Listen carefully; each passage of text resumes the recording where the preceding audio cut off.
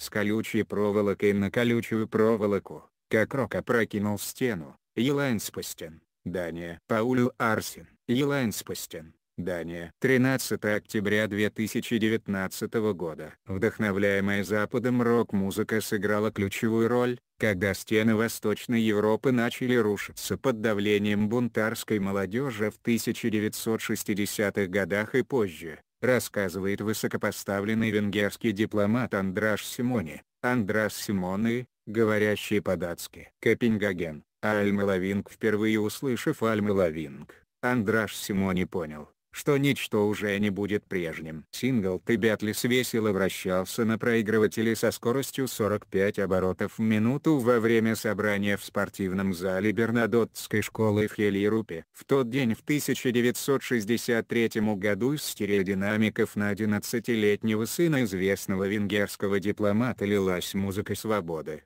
радости жизни и новых горизонтов, и для него это стало переломным моментом всей жизни. Это была музыка моего поколения. Это была моя музыка. Это был я сам. Двумя годами ранее семья Андраша Симони приехала в Данию со своей тогда коммунистической родиной и начала знакомиться с обществом, где были разрешены открытые дебаты, политическая конкуренция и критика существующей системы. Через много лет после первой встречи с рок-музыкой и датской демократией он, он рассказал свою историю в книге «Воспоминания времени» отмеченным значительными музыкальными изменениями и почти такими же значительными политическими ожиданиями. Англоязычная книга «Рок», ведущий к свободному миру, Rocking Toward a Free World, повествует о жизни молодого Андраша в 1960-х и 1970-х годах на стыке рока и политических реалий, изменения которых восточные европейцы ждали аж до конца 1980-х. Книга недавно вышла в США, и у нее есть подзаголовок «Когда Стратокостер победил Калашников». Имеется в виду гитара, которую молодой Андраш купил в 1965 году в Копенгагене за 600 или 700 крон, и автомат советского производства, державший в страхе его соотечественников. Увлечение роком и соответствующим образом жизни, который представлял собой полную противоположность казарменному социализму Центральной и Восточной Европы. Андраш Симони разделял с несколькими поколениями молодежи за железным занавесом. Берлин, Дуаст Денфорд фильм Вергесин Вальтер Ульбрихт. Уалтер Ульбричт, однако, вовсе не был так впечатлен Тебетлис, как Андраш Симони. Товарищи, неужели мы действительно должны копировать всю эту чушь, что приходит с Запада? Со всеми этими монотонными и Этот риторический вопрос сталинистский лидер ГДР задал, когда битломания достигла своего пика. Ответом, конечно, было громогласное «нет», и десятилетиями власти ГДР под предводительством вездесущей службы безопасности Штази делали все возможное, чтобы помешать музыкантам и рок-фанатам, которые тайно настраивали свои радиоприемники на волны западных станций. Как минимум одна доморощенная рок-звезда там все-таки появилась. Но этот дикий цветок не мог долго расти в негостеприимной почве Германской Демократической Республики. Нина Хаген, Нина Ген, была поочередцей известного диссидента и барда Вольфа Бирмана. У Ольф Бирман. Ее карьера началась в восточно-германской поп-музыке, где она стала довольно известным автором песен. Она была лидером группы «Аутомобил», которая прославилась хитом о молодой паре, отправляющейся в отпуск на Хеддензее, остров в Балтийском море, популярный среди восточно-германской богемы. К сожалению, дальше выяснилось, что парень забыл цветную пленку, на которой они собирались увековечить свое путешествие. Сама по себе эта песня вроде бы совершенно невинна, но за железным занавесом публика мастерски умела читать между строк. Если посмотреть на текст под нужным углом, можно обнаружить, что он повествует о дефиците товаров. Если вы забыли пленку дома, вряд ли вам удастся купить ее где-то по пути, а в общем смысле, о систематических неудачах и печалях в мире воплощенного социализма. Тогда в ГДР все знали Нину Хаген. Ваши бабушки, Отцы, 40% восточных немцев, должно быть, до сих пор напевают первый ее хит, писала газета «Дельзейт» в середине 2000-х.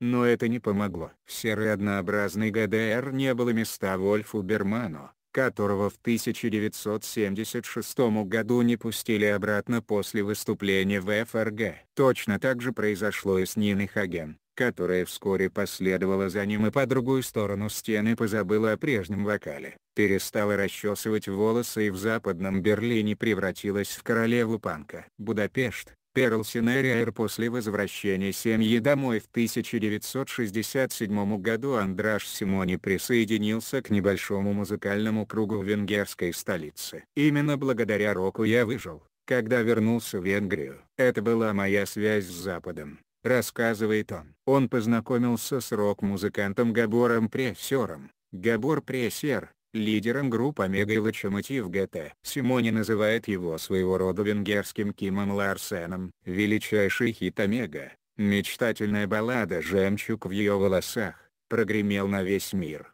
Позднее его спела немецкая группа Scorpions, а еще гораздо позднее переработал рэпер Kanye West. Кэнни Уэст. Но 15-летнему Андрашу Симо не было не просто приспособиться к венгерским реалиям. Здесь западные рок-записи продавались на черном рынке по ростовщическим ценам, а музыканты и их поклонники постоянно играли в особую теневую игру с властями. Габор Прессер для молодого человека стал отличным гидом по этому миру. Один товарищ из министерства сказал мне, что может отозвать мою лицензию на выступление. Примечание редакторов. Так что мне нужно постеречься. Но затем он попросил две членские карточки клуба Омега для своих племянников. Вот они какие, рассказал музыкант Андрашу. Прага, Ауальконтуилд сидя в 500 километрах к северо-западу в музыке и политике тоже происходили пертурбации.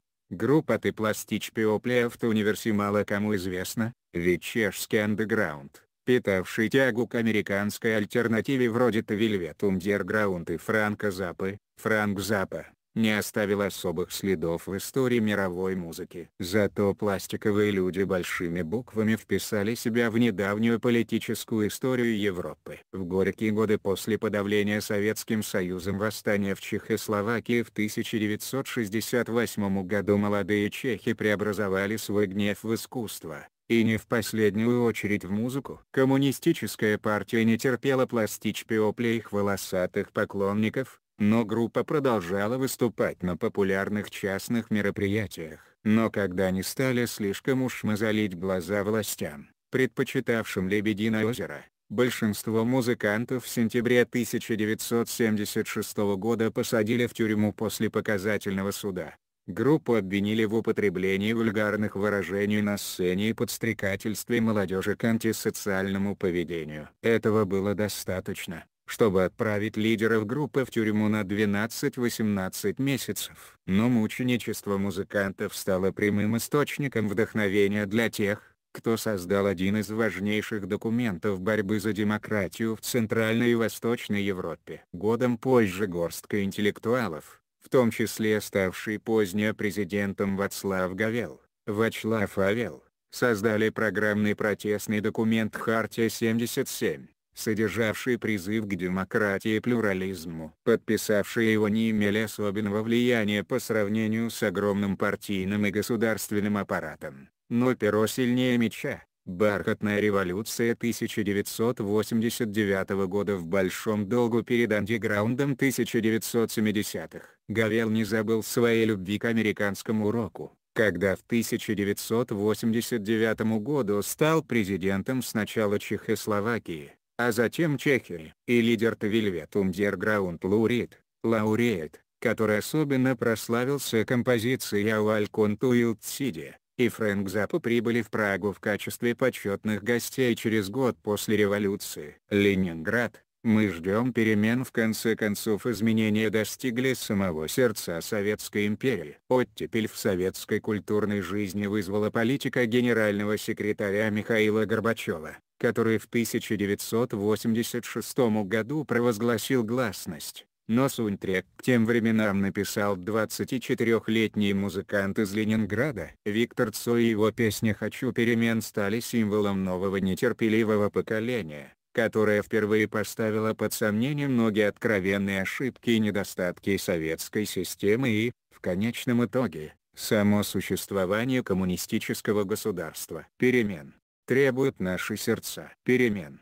Требуют наши глаза. В нашем смехе, и в наших слезах, и в пульсации вен. Перемен. Мы ждем перемен. Пелцой, лидер группы кино. Вскоре по стране прокатилась лавина перемен, не только культурных, но и политических, и экономических. В конце 1991 года все это вылилось в безвозвратный распад Советского Союза, но сам Цой этого не увидел. В те годы кино слушали по всему Советскому Союзу. Побывала группа и в Копенгагене. А в 1990 году Цой погиб в автомобильной катастрофе в Латвии, которая тогда еще была Советской Республикой. Ему было 28 лет. В Москве его помнят и по сей день. Фанаты встречаются у покрытой граффити стены Виктора Цоя на пешеходной улице Арбата его ставшая классикой песни. Его гимн на переменах не потерял своей актуальности. На ютубе запись просмотрели более 31 миллиона раз и под ней можно найти множество совершенно современных комментариев от демократических активистов России, которые снова ищут силы в музыке, чтобы бороться с властями. Россия ждет перемен, пишет один из них. Вашингтон, Рыбалдерстрейде редко когда посол представляет автобиографию с электрогитарой в руках в музыкальном магазине на собственной шумной улице Вашингтона, 18-й улице, Рыбалдерстрейде, так назывался альбом датской группы Гасолинки и Маларсена. Примечание Перев. Но Андраша Симони тоже нелегко поставить в один ряд с кем-нибудь еще. После краха коммунизма он стал первым послом Венгрии в НАТО и с тех пор много лет представляет родную страну в американской столице Вашингтоне, где живет и сейчас. Он рассказывает, как политика и музыка звучали в унисон. В Восточной Европе рок никогда не был просто развлечением. Это всегда был некий бренд, который показывал, на чьей ты стороне, рассказывает он на беглом и богатом датском. Не все, кто слушал рок, критиковали систему, но все, кто критиковал систему, так или иначе были вовлечены в эту музыку. А сам Андраш Симони продолжает увлекаться роком и играет на гитаре в группе Челитионов Туилинг вместе с американскими дипломатами. Конечно, в его домах в Вашингтоне и Будапеште звучит американский рок, например, Алман Братерси Рамонис, но включает здесь и датскую музыку, например, первый альбом «Гасолин» который напоминает Андрашу Симони о начале 1970-х с их большими надеждами. «Я его слушал раз 500 как минимум», — говорит он. Материалы на СМИ содержат оценки исключительно зарубежных СМИ и не отражают позицию редакции на СМИ.